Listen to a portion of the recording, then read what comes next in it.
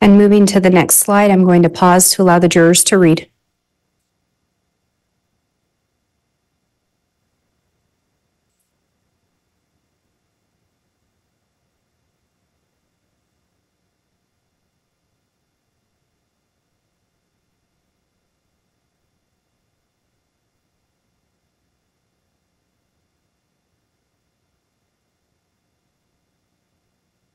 And Agent Hart, can you indicate the date these messages were exchanged? Again, on October 19th, 2019. And who were these messages being exchanged between?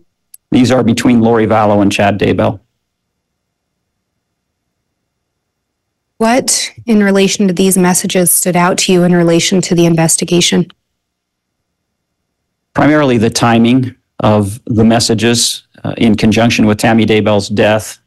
And then this is the first in a series of uh, messages over the next 24 hours or so between uh, Chad Daybell and Lori Vallow subsequent to uh, Tammy Daybell's death. And again, Tammy Daybell was pronounced dead on October 19th of 2019. Yes, the uh, call, the 911 call uh, was approximately 6 a.m. on October 19th, 2019. So the same day these messages are exchanged. Correct.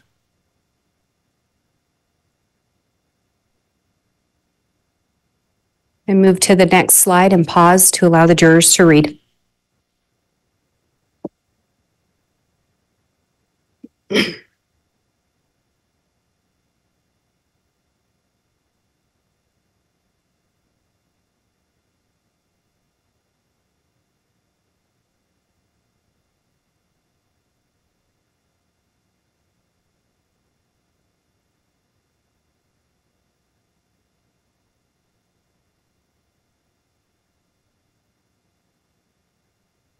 Agent Hart, can you indicate the date these messages were exchanged?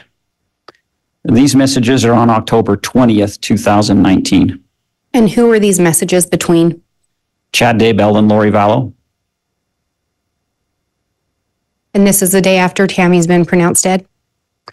Well, the first two messages, as you can see, are are just past midnight, so they're approximately 18 hours after Tammy Daybell's death. And then the last two messages are approximately 25 and a half hours uh, after that 911 call regarding Tammy Daybell's death. What else about these messages stood out to you in relation to the investigation? Well, line 527 uh, on that date is a text from Chad to Lori Vallow. Um, where he indicates, I love talking with you. It's baby night, uh, so come get me later.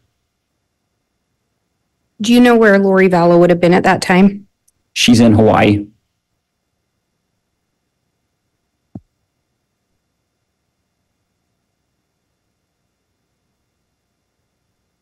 In the messages that you reviewed shortly after Tammy's death, any expression of grief by Chad Daybell regarding his wife's death? None. Any expression of grief by Lori Vallow? None. And if you recall, when you testified previously, you'd reviewed messages around the time of Charles' death, is that correct? Yes. Any expression of grief by Lori in those? None. Any expression of grief by Chad in those? No.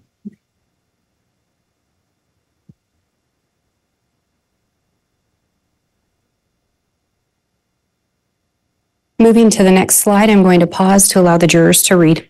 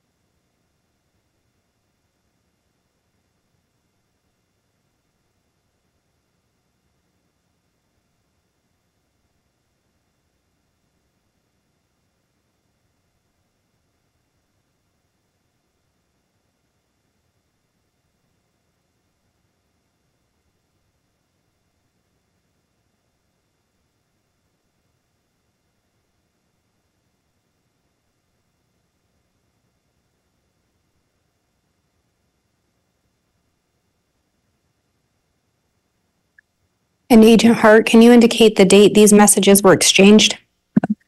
October 20th of 2019 in the early morning hours. And who are they being exchanged between?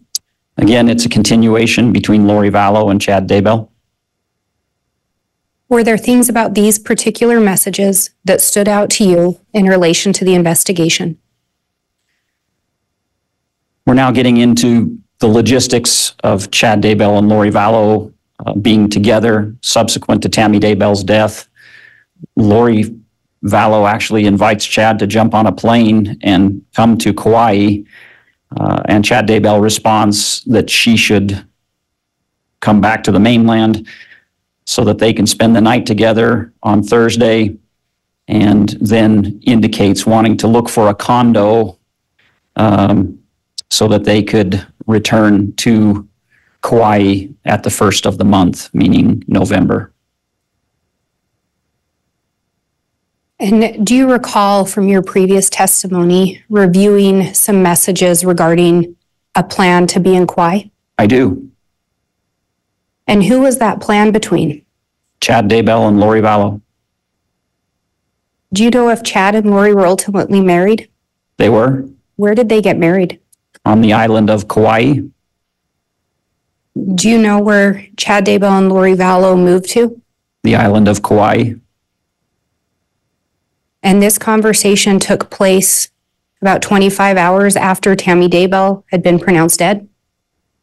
About 26 hours after the 911 call by Chad Daybell uh, to indicate to authorities that his wife was dead.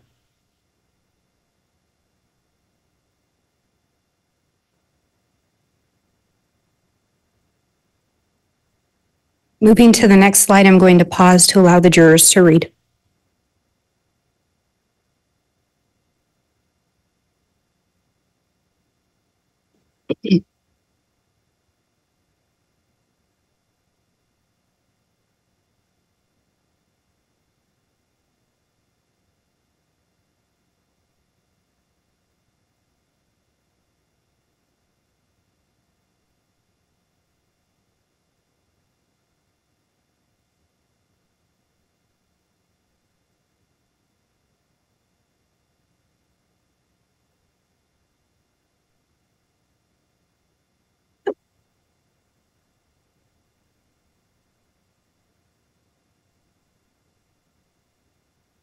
And Agent Hart, would you indicate the date that these messages were exchanged?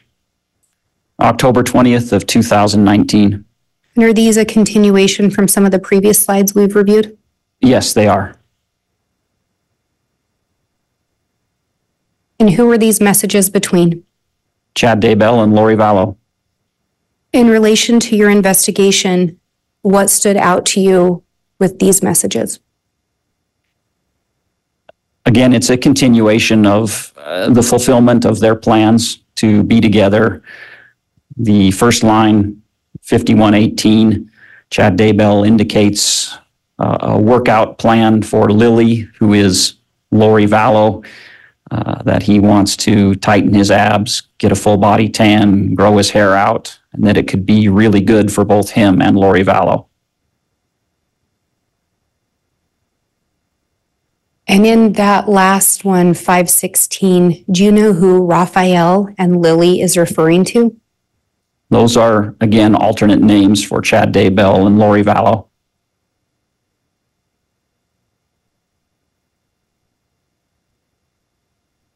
And is there an indication there about how much they will be together? A hundred percent.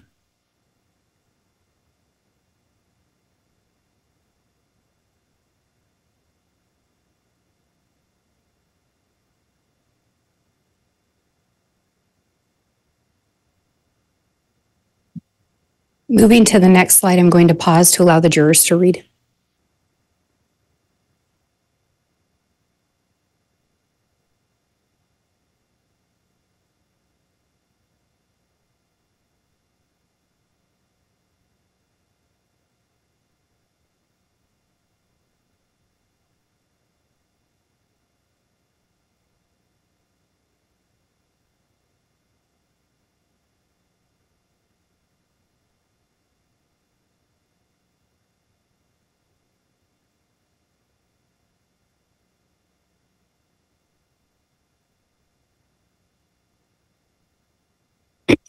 Agent Hart, can you please indicate the date these messages were exchanged? Yes, this is the conclusion of this text string, and the date is October 20th, 2019. And who are the messages between? Lori Vallow and Chad Daybell. Was there anything that stood out to you in relation to the investigation in these messages? Yes.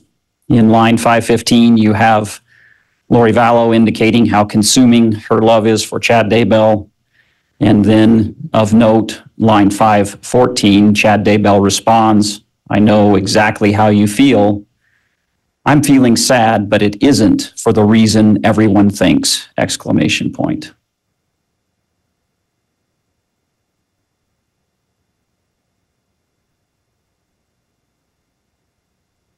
Through the investigation, did you learn what the connection between Alex Cox and Chad Daybell was?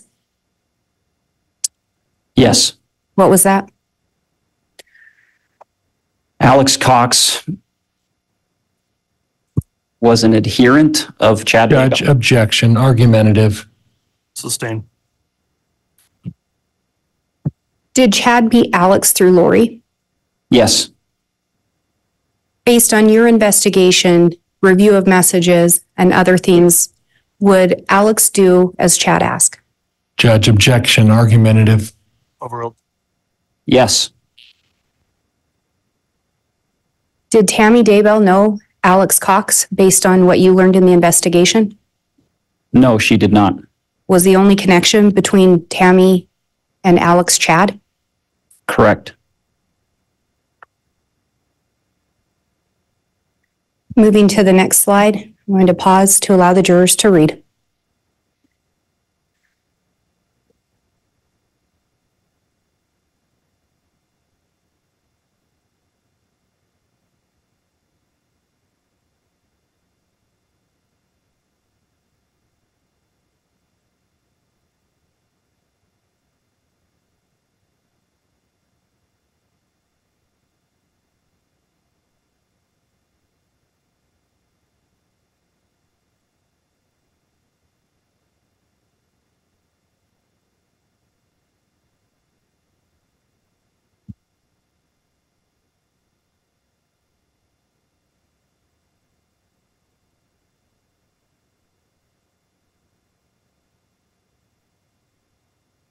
And Agent Hart, can you indicate the date these messages were exchanged? Yes, October 23rd of 2019. And who were the messages being exchanged between? Lori Vallow and Chad Daybell. And do you recall in a previous slide talking about a message where Alex was going to be told information also? Yes, What about these messages stood out to you in relation to the investigation? in relation to the investigation, primarily lines 482 and 481 stood out to me. In line 482, Lori Vallow indicates she's had a bad dream about Al. And primarily line 481, Lori indicates that Alex Cox would be the one they use to get us both. All this alone time is not good for him. So something that Alex Cox knows is a risk to Lori Vallow and Chad Daybell. Based on your investigation, review of the iCloud, and other information, who was the "they" being referred to? Objection, speculation. Overruled. I believe that is a direct reference to law enforcement. What is Chad's response in line 479? Chad Daybell indicates I will try to reach out to him later today.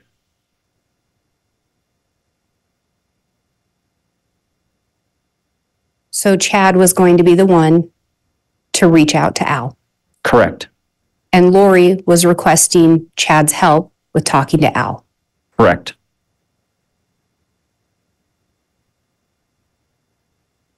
And again, through your review of the messages, who was seeking information? Primarily Lori Vallow, And who was providing the answers? primarily Chad Daybell. I have no further questions. All right, thank you, Ms. Blake.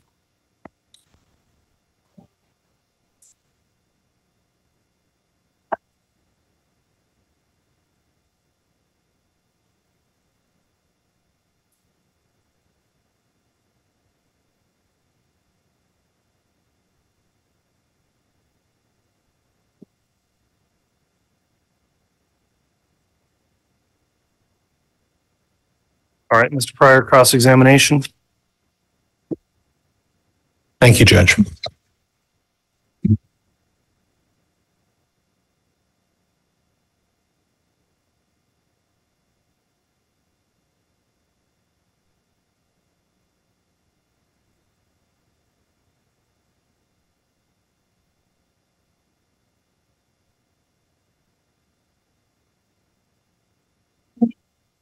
Agent Hart, there was a, um, a discussion about uh, when you're investigating uh, missing children, who the um, potential um, um, folks that you would uh, look to if you were uh, starting your investigation. Do you recall that discussion?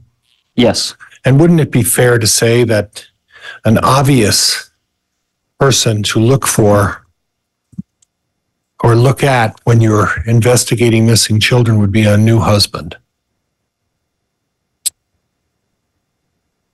in addition to others, yes. Uh, we, we would look at the parent or the husband. I guess my point was you can't put blinders on. You can't exclusively hone in on one person at the onset of an investigation. Right, and it would be inappropriate to do that. I mean, when you're looking and, and conducting an investigation, wouldn't it be fair to say that any and all evidence that you obtain, you should look at all leads of, of, of evidence and not target your investigation in one channel? Would that be fair?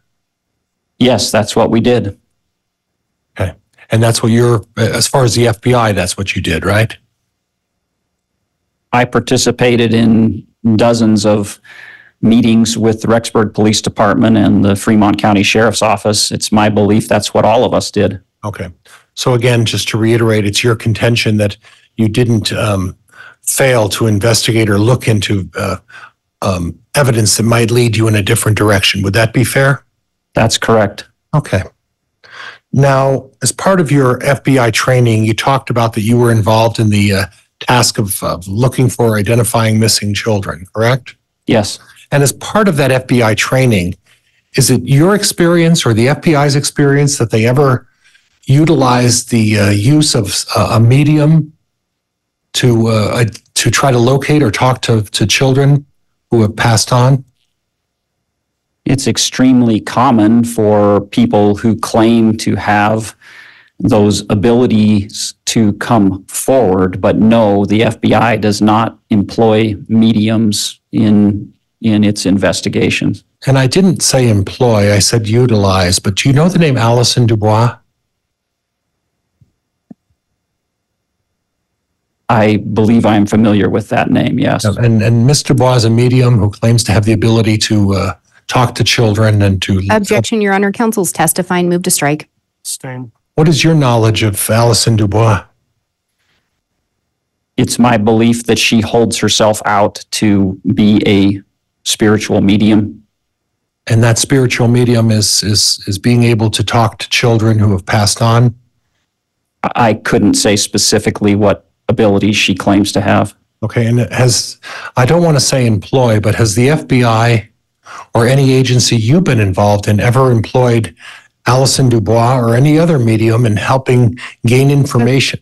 Objection, Your Honor. Relevance. Overruled. Gain information about uh, the whereabouts or the circumstances surrounding the death of a uh, children or, or anyone in particular. Well, Mr. Prior, when you say, when I said employ, I think I mean the same thing you do as utilize, Okay, not, not pay money to.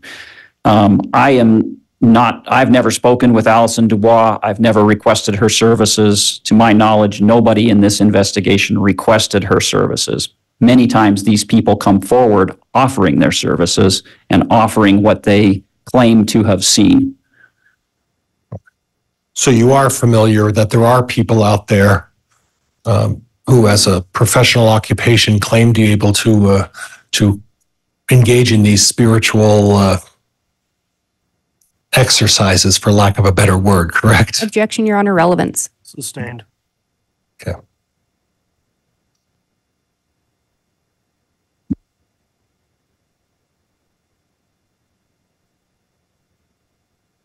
So would it be fair to say that if Chad Daybell placed himself out as someone who uh, claims to be able to to have these spiritual gifts, that in itself is not unusual? Would you agree with that?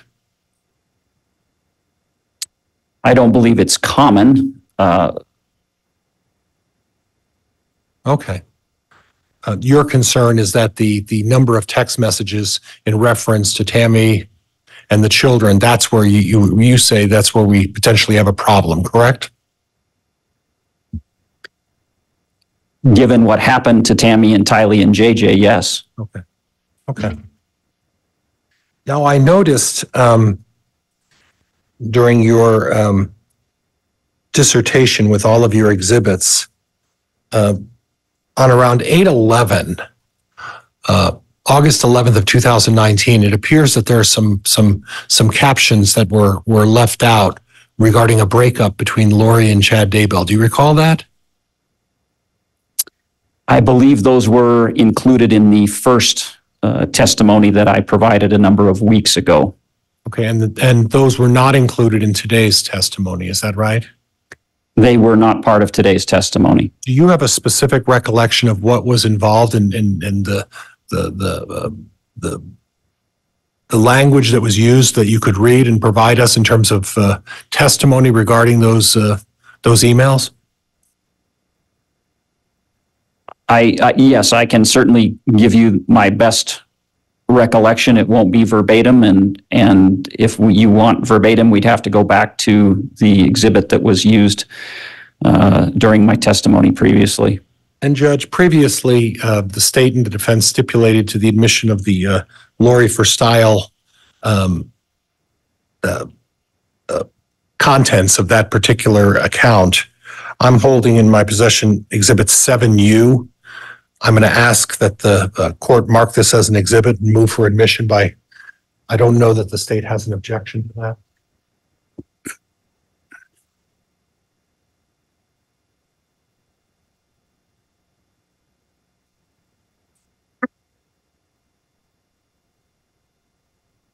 The state does not have an objection. I just wanted to clarify which ones. Very well. We'll get that marked for you, Mr. Prior, and then Thank you, Judge. can you clarify what's in seven U? Judge, it's a content of approximately four uh, text messages um, between Lori Vallow and Chad, Chad Daybell dating from 8/11 of 2019. All right, exhibit seven U is being marked and will be admitted.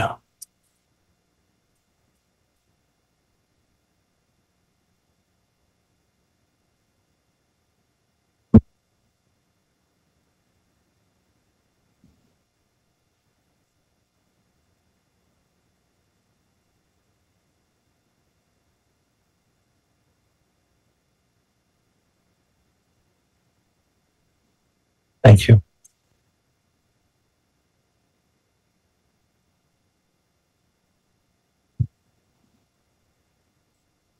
Judge, may I have the court's permission to publish? Yes, And it might take me a minute, Judge.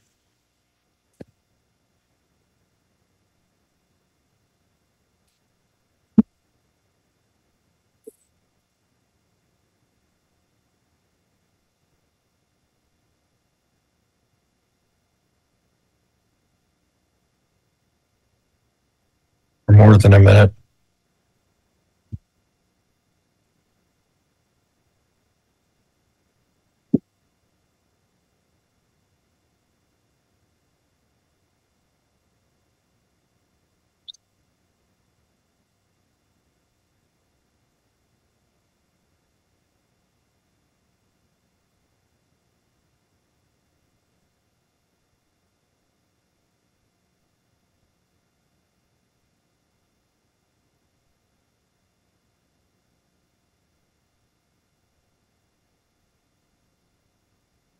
And Judge, if we could start publishing.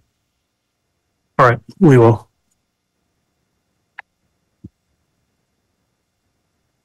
No, officer, uh, officer, I apologize. Agent, um, line eight fifty-six, uh, talks about the, from Chad Daybell to Lori Vallow, the next two days will be torture. Do you see that? I do. Then, uh, there's a comment from Chad, makes a comment, and could you read that thankfully? Uh, thankfully, I will be alone most of Wednesday and beyond. Okay, and then we go to line eight fifty-four. Are, now, are these in, these are, there's no, um, text messages that are in between each of these. Is that correct? So in the um, iCloud, that there can be. So in between 856 and 854, Lori Vallow could have gotten a text from a friend about lunch. And so they're just arranged and given a line number based on the date and time. So that's how this works. Okay, so the time on the first one, eight fifty-six, is at nine fifty-six. The, the eight fifty-four would be the next correspondence from Lori Vallow to Chad, correct? Yes. And if you could read that entire uh, text message starting with the word is, Is that what he wants? For me to sit around waiting for you endlessly and you miserably wasting time? It just doesn't feel right! Exclamation point. okay. Now, you talked about um, the manipulation that was engaged in, in, in these, uh, many of these, and you said, use the word many, from Lori Vallow to Chad Daybell. Is this an example in your mind of Lori Vallow again manipulating Chad Daybell? Absolutely. It was a two-way street. Lori Vallow would manipulate Chad Daybell and vice versa. Okay, and Chad's manipulation would be talking about the religious knowledge that he claims to have in this vast wisdom. Is that right? Yes, Okay. So on two levels, we have manipulation, at least according to you.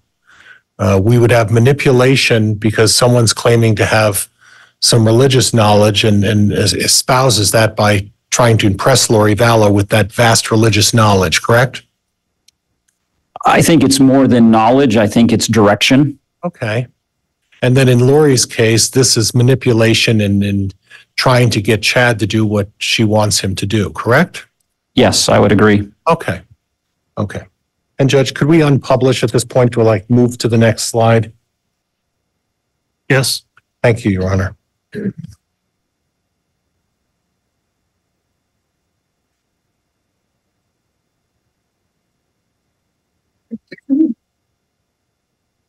Okay, and then if we could publish again? go ahead.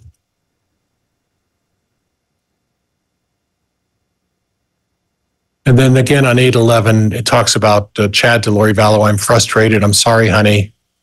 And then let's go to line eight forty three, which appears to have occurred at about the same time the first text. And if you could, um, if you could read line eight forty three, starting with you.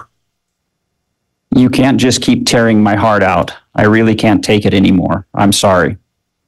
Okay. Okay. And then let's go down to line eight forty-one and start with reading that one for me.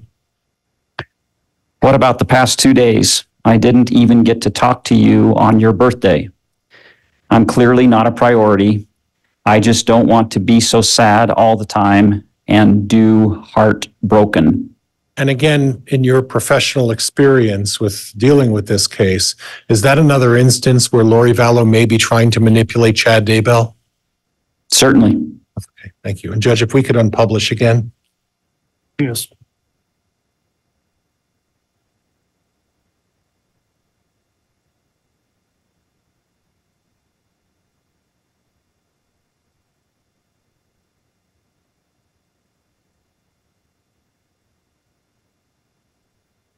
And let's uh, publish again, Judge.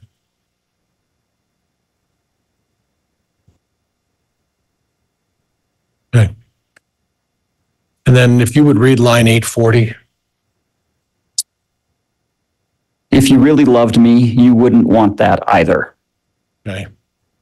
And then uh, Chad Daybell responds, that was from Lori Vallow to Chad, correct? Yes, And then two minutes later, Chad uh, discusses that he couldn't have talked, the girls were there.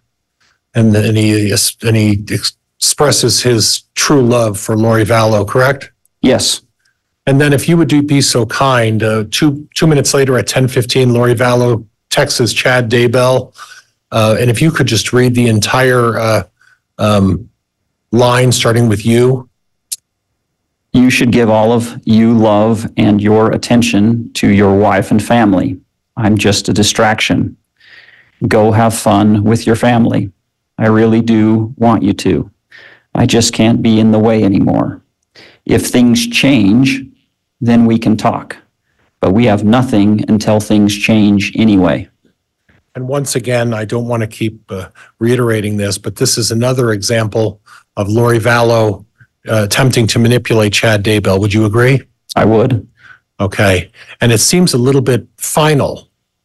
And it seems as if that the suggestion here is on 8/11 of 2019 that there's a breakup between Lori Vallow and Chad Daybell. Do you agree with that?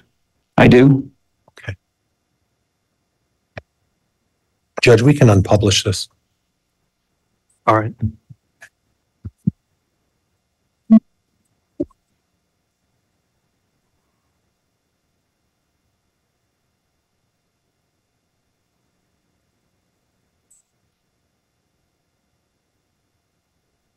All right, that concludes cross.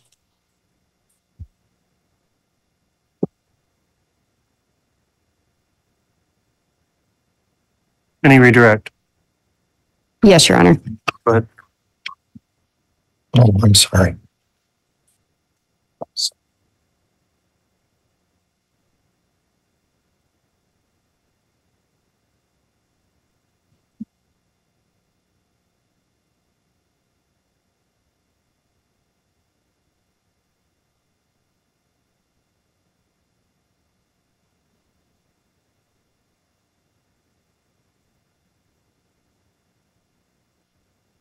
Your Honor, I would request permission to publish from 183B the printout of the PowerPoint. I can use the drive if necessary. All right, we'll get you the exhibit on the drive.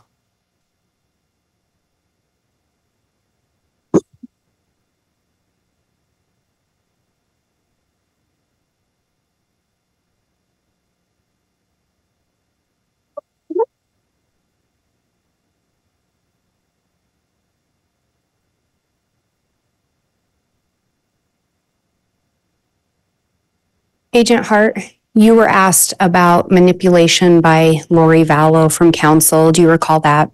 I do. Through your investigation, did you also find manipulation by Chad Daybell? I did. Did you find that manipulation around the same time of the breakup? I found it throughout the entire course of the investigation.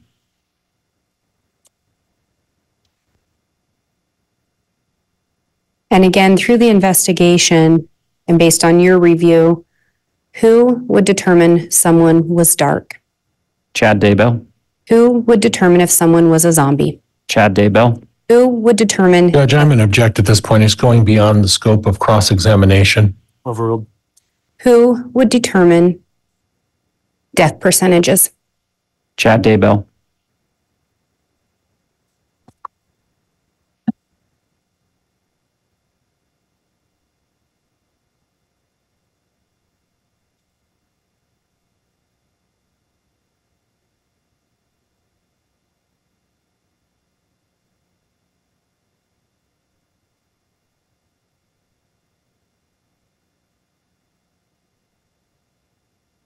And Your Honor, I would request permission to just publish one page of the slide, but to print it out uh, for ease. Yes, you may publish the printed version on the Elmo if you'll identify what it is when you do that. Yes, it is slide 18 from the printed version of Exhibit 183B.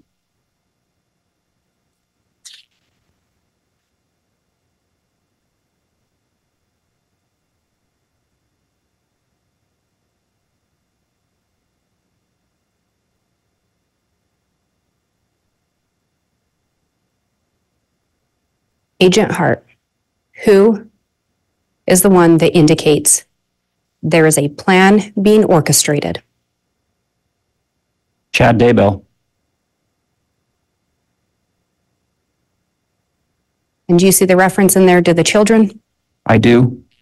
Do you know where Tammy Daybell's body was located when she was pronounced dead? Tammy Daybell's body was located in the bedroom in their home. Where were the bodies of Tylee and JJ located? Tylee and JJ were both located on the pasture property of the residence. And was that the residence of who again? Chad Daybell. I have no further questions. All right, thank you. That will conclude the testimony then of Agent Hart.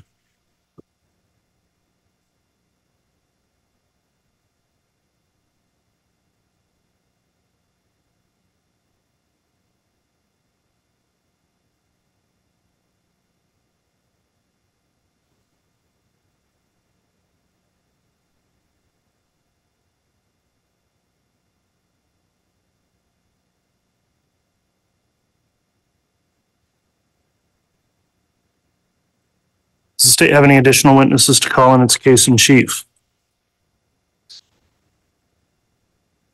We do not, Your Honor. All right, so has the state rested at this time?